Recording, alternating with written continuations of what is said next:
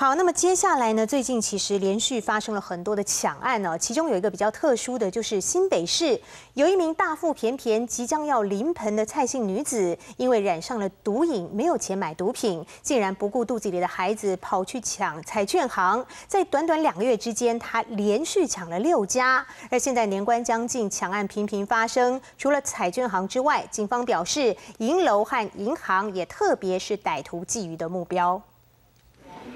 穿着黄色雨衣、头戴安全帽，三十七岁的蔡姓孕妇，先是假装在挑刮刮乐，在趁着老板没注意时，搜刮四十张彩券，随即逃逸，让老板措手不及。别可能买刮刮乐，别买几本呢？我是你要就走啊！其实不止这家彩券行受害，即将临盆的蔡姓孕妇为了买毒品，近两个月时间已经连抢六家彩券行。警方循线追查，终于将他逮捕到案。年关将近，抢案频传。日前永康街才发生歹徒在银行前伤人抢劫的案件，让警方不敢大意。这个要求现金。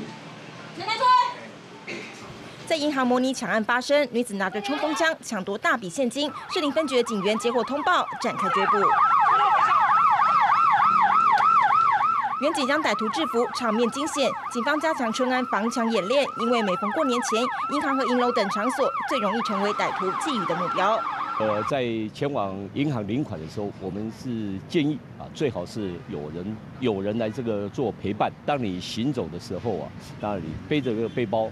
一定记得是背包的方向，你背的方向一定是靠路边。警方呼吁，在提领大笔款项时，可向警察单位申请护钞保护，以此安全。在过年前，民众必须要提高警觉，别让歹徒有机可乘。记者报道。